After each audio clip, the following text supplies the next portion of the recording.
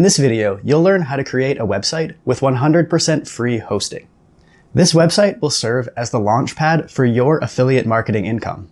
And in total, it'll take just 20 minutes to start. The final product of this video is simple. It's a very basic website, but it will serve as the basis for what you'll create next. In the next video, I'll show you how to set up all of the accompanying tools that help your website get to the next level. And in the one after that, I'll show you how to write a piece of high quality, value add content that will get you ranked in Google. One final note before we jump in. In the previous video, I showed you how to pick an industry. And in this video, you're going to be launching a website. And to launch your website, you'll need a domain name. And that domain name needs to be related to the industry that you chose. So if you haven't chosen an industry yet, hop back to that previous video linked in the description in order to choose your industry first before completing this process. Okay guys, to set up your website, all you're going to need is a laptop or a desktop computer. It doesn't matter if it's Windows, Mac, or a Chromebook. All you need is an internet browser to set this up. The first step to setting up this website is to head over to bitnami.com slash stack slash WordPress and click on the single tier cloud hosting option. These guys have packages set up that will deploy WordPress directly into one of these cloud options with pretty much one click. There's a very small amount of configuration and I'm going to walk you through how to do that right now. The cloud that we're going to use today is Amazon Web Services. I've used AWS for years with absolutely no problems, and the startup companies that I've worked for in the past have all used AWS as well with great results. To start launching your WordPress website in AWS, just click the Launch WordPress button. After you've clicked launch, you'll end up at this page where you need to sign in to Bitnami in order to launch your AWS instance. So you can sign in with Google, Facebook, GitHub, Microsoft, or create your own account. Here, I'll sign up with a Google account because I don't think I've used any of them before. I think I will go with this one. So accept their terms of service and continue on. In this page, all you have to do is name your server and link a Bitnami cloud account. So at this point in time, you probably don't have a Bitnami cloud account, so just click add cloud account in order to create one. And to do that, you just create a password and save it. That's all that's required here. This password will be linked to whichever account you created at the beginning. So if you linked a Google account, this password will be linked to that Google account. Now Bitnami is going to launch a copy of their virtual machine in AWS on our behalf.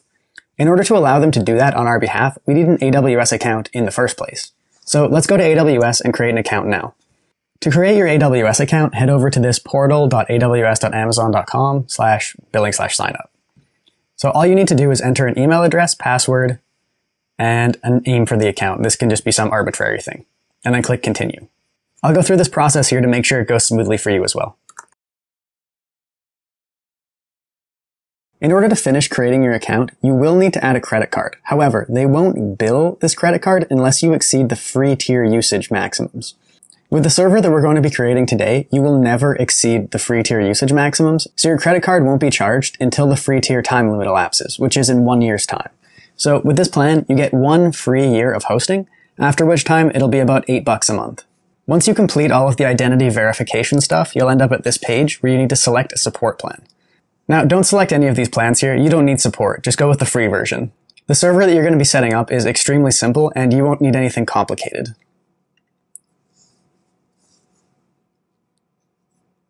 Okay, it looks like we are all done. So time to sign in and get our credentials for Bitnami. Okay, perfect. We've made it to the AWS Management Console. This is where you'll manage the server that Bitnami sets up on your behalf. Now we haven't forgotten why we came here in the first place. We need to get an access key ID and a secret access key from AWS for Bitnami to launch a machine in the cloud on our behalf. So head over to the AWS Management Console and click on your name and then click on My Security Credentials.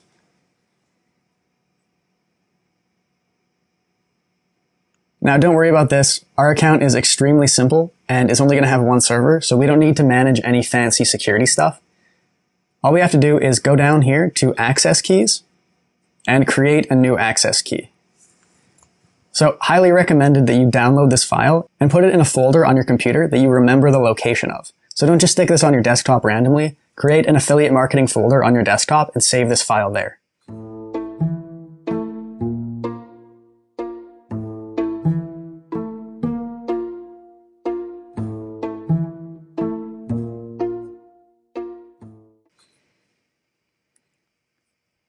So let's copy the access key ID into here. And let's copy the secret access key into here. And then click on continue.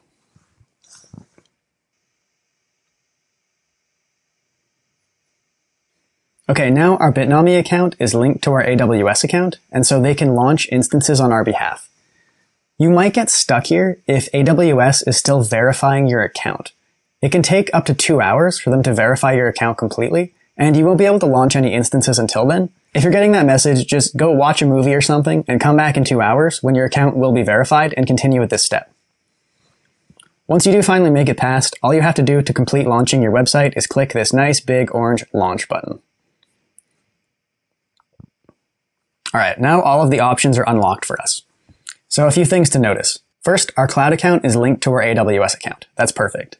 Secondly, we're launching a WordPress version 5 image. That's actually not what we want. We want a WordPress version 5 image with Nginx and SSL.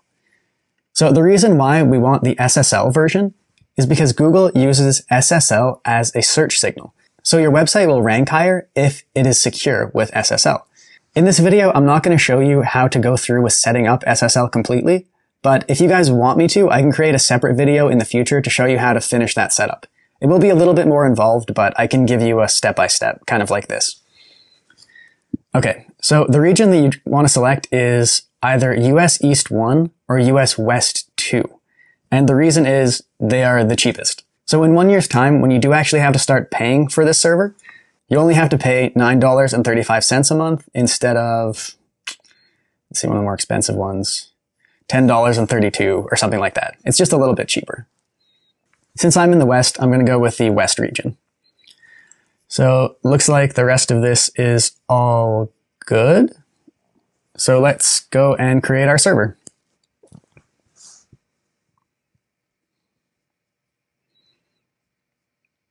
So it looks like Bitnami is going to set up a WordPress user on our website on our behalf. The username is going to be user, and the password is going to be whatever is behind these stars. I won't reveal those on camera. So our server is just setting up. Looks like it's 39%. I will just skip ahead and get back to you when this is actually all finished. Okay guys, 98% done. Now's a good time for me to explain exactly what these things down here mean. So in orange writing, there's a PEM and a PPK. So if you're not a computer person, you probably don't know what these mean. Basically, PEM and PPK are just different forms of passwords. So if you want to access the server that was created for you by Bitnami on AWS, you can use these two keys to do something called SSH, which means secure shell. So if you if you're on a Mac, you can open something like something like this, and you can type in ssh-i your file.pem, which is this file down here, and then your username, which will be bitnami at your IP, which is 54 dot something. So once you do that, you'll gain access to your server via the, the, terminal. So you'll get access exactly like this, terminal access. So you can execute commands, you can change directories, you can create stuff, you can restart your server. If you guys do want me to create a video about how to set up SSL, you will need to use SSH in order to do that. But the SSH that I will have you guys do will actually be in the Chrome browser and will be a lot simpler. But I'm not sure that that's necessary yet. If there's a lot of interest, I'll make it. Okay. So our server is now running. So you can actually access your server just by clicking on this button right here.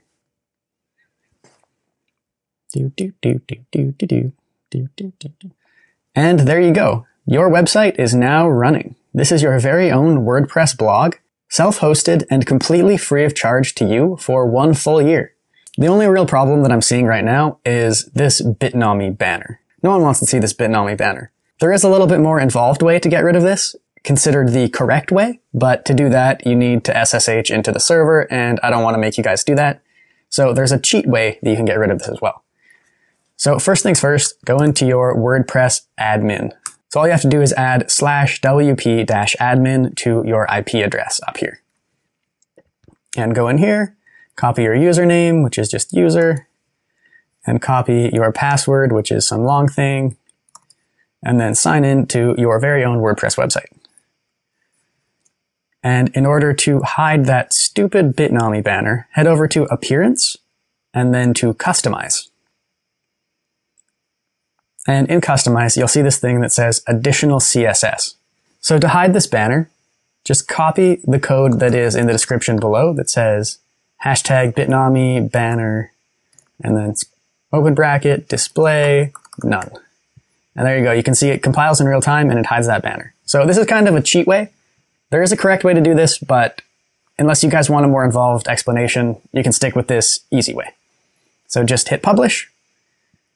And there we go. Banner be gone. Now let's go to the root of our website and it's gone permanently. So now that our website is all up and running, there is a glaring issue, and that's that it doesn't have a domain name. It's just an IP address. Let's head on over to GoDaddy.com in order to purchase a domain name and send it to our website. Basically, a domain name is just a word or phrase that directs people using a browser to an IP address, which is just a server. So whenever we type in a domain up here, like something.com, the browser will first go to something called a domain name server and ask them, hey, do you know what something.com is? And they say, why, yes, yes, I do. And they provide the browser with an IP address. So that's all we're going to be doing right now, is purchasing a domain name that will sit in those DNS servers. So to find your domain, head into GoDaddy and purchase whatever you want. Some cool shoe website.com. Let's search this up. Well, what a surprise. It is available. So you can see this website costs $2.99 for the first year and additional years are 17 bucks. So we can get two years for 20 bucks. Pretty good deal. So when you add these to your cart and you go to checkout, they're going to try to sell you a whole bunch of crap that you don't need, and you need to avoid all of that. It's time to engage sketchy marketing dodge mode. So privacy protection is actually not one of those things you might want to dodge. Privacy protection is pretty useful. And the reason it's useful is because every domain name that's registered needs a registrar. So if I register this domain name, that registrar will be me. So all of my personal information will be listed under whois.com. So if you look up my domain name, let's say this one, my personal website,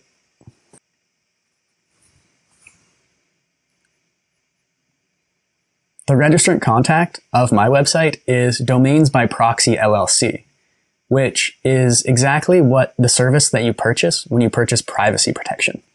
So if you're okay having your personal information on the website under your domain name, totally fine. Just say no thanks. But if you don't like that, just go ahead and click privacy protection. It's, it's going to be another 20 bucks for two years.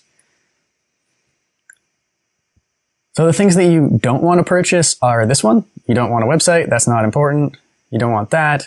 You don't want that. So, okay. We are, we've dodged all the crap. Oh, big surprise. They want us to undodge and register a whole bunch of extra shit. So .co domain name? Nope, we don't want that. Man, these guys are the worst. How did all this stuff even get in my card in the first place? There we go. $20.98 for two years. Once you complete the purchase of your domain name, it will appear under your quick links and manage domains.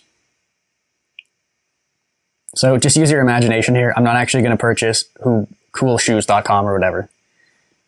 So in order to set up this domain, in order to point to our new website, we need the IP address of the website. So go over to your Bitnami website and copy this IP address. Then head back over to your domain manager, click on this gear, and select Manage DNS. And that means managed Domain Name Servers. Those are those servers that point to the IP addresses. The A record is the one that we want to modify. That's the at record. It's where the domain name points by default. There are a whole bunch of other records that you see in the domain, but those aren't important right now. All we need is the at record. So to edit that,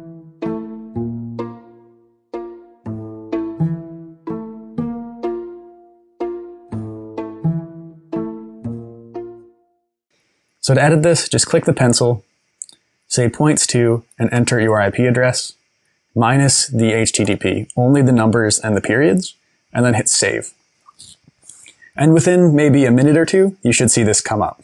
All right, so once you've completed that process, you then have a website with a correctly functioning domain name and a fully functional WordPress server. Before I leave you guys today, let's finish the basic setup of your WordPress website. So next week, I'm going to show you a bit more advanced setup, but for now, let's just finish the basic stuff. To finish this, head back over to your WP admin and then the settings and the general tab. So you're going to want to set your site title and your site title should be very related to your domain. So what was my domain? It was my cool shoes website. So cool shoes website is my site title. And my tagline is we review shoes real good because this is a very high quality site. Wouldn't want you guys to think that our grammar was poor. All right. In order to edit our email address, we actually need to use a little bit of a trick. So let's just finish this off and save these two changes. And then to change our email address, go into the URL and delete the word general. So the final URL that you'll see is your domain name, wp-admin slash options.php. And this is the super secret options page. So to change the email address, scroll on down until you see admin email. And then enter your actual email address here, and then scroll to the bottom and hit save. That circumvents the need to verify the email address. At the moment, we don't have our email server set up, so we actually can't verify the email address. The final thing I'd like to show you guys how to do is install a new theme. So the theme that it comes with is 2019. I consider it to be quite ugly. The theme that I would like to recommend is called Orfeo. It's available here. I'll leave this link in the description if you'd like to use it as well. It's totally free, and that's one of the things that's so great about it. So to download this theme, just hit the download button, enter your email address, don't sign up for their stupid newsletter, and you'll end up with a zip file. And that should be in your downloads folder. So in order to install this theme on your WordPress website, head over to your WP admin, Appearance, Themes, and click Add New. And you're going to want to hit the Upload Theme button, and then choose the zip file that you downloaded earlier. So here's mine, and just hit the Install button.